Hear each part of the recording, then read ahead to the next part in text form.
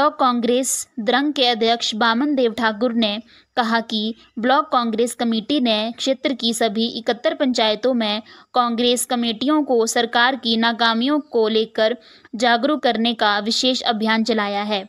इसके लिए पंचायत स्तर पर बैठकें की जा रही है, जिसमें बढ़ चढ़कर कार्यकर्ता भाग ले रहे हैं। उन्होंने कहा कि द्रंग विधानसभा क्षेत्र में शिक्षा और स्वास्थ्य सेवाएँ पूरी तरह चरमरा कर रह गई है।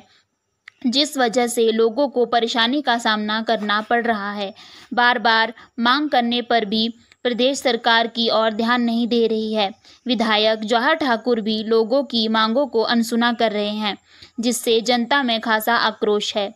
रविवार को द्रंग विधानसभा क्षेत्र की ग्राम पंचायत कुफरी में कांग्रेस कमेटी की बैठक को संबोधित करते हुए उन्होंने कहा कि भाजपा सरकार के पाँच साल के कार्यकाल में क्षेत्र विकास के मामले में पिछड़ कर रह गया है। इस बात का जनता को भी मलाल है।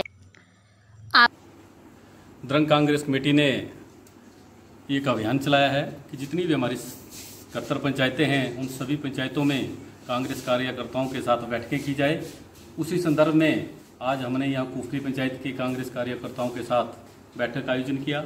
यहाँ पर जिस तरह का जोश कांग्रेस कार्यकर्ताओं ने दिखाया, उससे लगता है कि इस बार कुफरी पंचायत से और इलाका दूंधा से कांग्रेस पार्टी को और ठाकुर कौर सिंह जी को यहाँ से भारी बहुमत प्राप्त होगा। मैं धन्यवाद करना चाहूँगा इस कुफरी पंचायत की कांग्रेस कमेटी का, जिसने इतने अच्छे ढंग से आज की इस बैठक का आयोजन किया और जिस तरह इन्होंने बताया कि पहले तो पंचायत स्तर पर बैठकों का आयोजन कर ही रहे हैं, इसके बाद ये अपने बाढ़ स्तर पे और बूथ स्तर पे भी कमेटियों का, लोगों के साथ बैठ के करेंगे।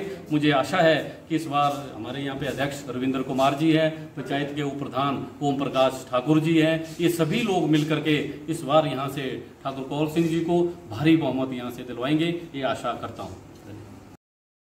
आपका फैसला के लिए पधर से कुलदीप शर्मा की रिपोर्ट।